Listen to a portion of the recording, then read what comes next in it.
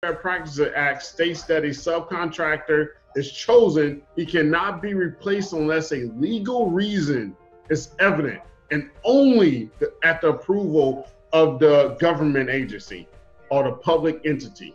Okay?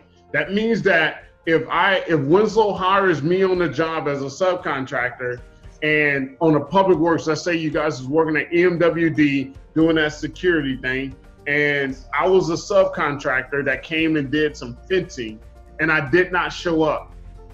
And you call Winslow, hey, Tyrone is not here, man. It's already been two days. You call again, it's already been three days. Winslow cannot easily just replace me.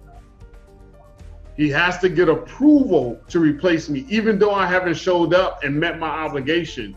There's a process in it.